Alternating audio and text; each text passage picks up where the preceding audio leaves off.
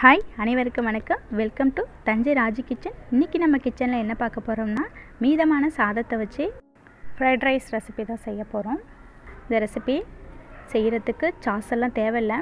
நம்ம வீட்டில் உள்ள காய்கறிகளை வச்சு நம்ம ஈஸியாகவும் அதே சமயத்தில் ரொம்ப டேஸ்ட்டாகவும் செஞ்சிடலாம். ரொம்ப ஹெல்த்தியான ரெசிபி குழந்தைங்க ரொம்ப விரும்பி சாப்பிடுவாங்க. ஸோ இந்த ரெசிபி எப்படி செய்யலான்னு வாங்க பார்க்கலாம். இப்போ ஒரு கடாயில் ரெண்டு டேபிள் ஸ்பூன் அளவுக்கு எண்ணெய் விட்டுருக்கேன். இது கூட கட் பண்ணி வச்சுருக்க பீன்ஸ் முட்டைக்கோஸ் அப்புறம் கேரட். இதெல்லாம் நைஸாக கட் பண்ணியிருக்கேன். இதெல்லாம் எண்ணெய் கூட சேர்த்துக்கலாம். சேர்த்துட்டு நல்லா வதக்கிக்கலாம். இதெல்லாம் மீடியம் ஃப்ளேமில் வச்சு தான் நம்ம வதக்கிக்கணும். ஸோ இது போல் ஸ்டிர் ஃப்ரை தான் பண்ண போகிறோம் இது மாதிரி ஃப்ரை பண்ணிக்கலாம். பண்ணிவிட்டு இந்த காய்கறி வேகிறதுக்கு தேவையான அளவு உப்பு கொஞ்சமாக சேர்த்துக்கலாம். சேர்த்துட்டு நல்லா கலந்து கொடுத்துக்கலாம். இந்த காயெல்லாம் சேர்ந்து மீடியமாக வேகணும்.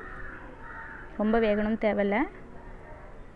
அவ்வளோதான் இதுக்கு தேவையான அளவு மிளகுத்தூள் அப்புறம் மிளகாய்த்தூள். இது ரெண்டு மட்டும்தான் நம்ம சேர்த்துருக்கோம். சாஸ் எதுவும் சேர்க்க தேவையில்லை. இது சேர்த்தாலே ரொம்ப டேஸ்டியாக இருக்கும். ஸோ இது போல் நல்லா கிளறி கொடுத்துக்கலாம். கிளறிட்டு இப்போது நான் ஒரு கப் அளவுக்கு வடித்த சாதம் வச்சுருக்கேன். இது வந்துட்டு பாஸ்மதி அரிசி இல்லை. நார்மல் அரிசியில் செஞ்ச சாதம் தான்.